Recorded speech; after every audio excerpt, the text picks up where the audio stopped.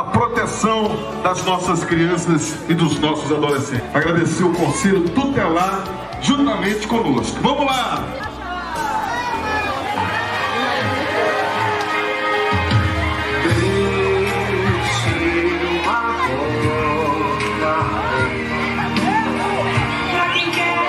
Licença, infelizmente a gente, em nossos dias atuais, ainda contempla um grande índice onde as pessoas são a família, o principal meio e centro, que infelizmente a gente ainda tem muita negligência no seio da família.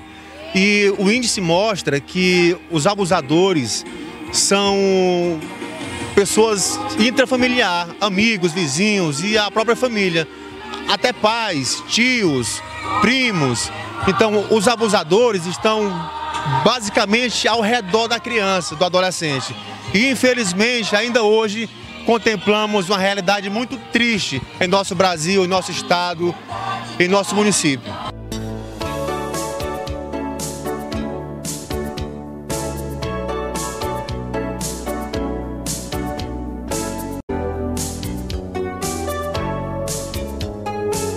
Ainda é muito grande o índice de exploração sexual contra as nossas crianças e adolescentes, mas a cada ano é, tem o crescimento, né, o comprometimento é, da sociedade, do povo. Sempre a gente conta com a colaboração das escolas, né, e o município de Poção de Pedras não é diferente dos outros municípios.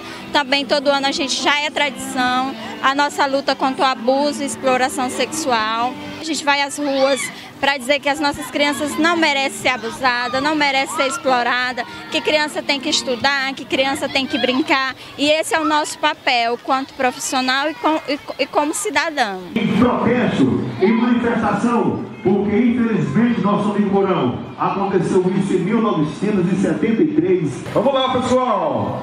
Animação! Vamos, Yuri! Fazendo bonito!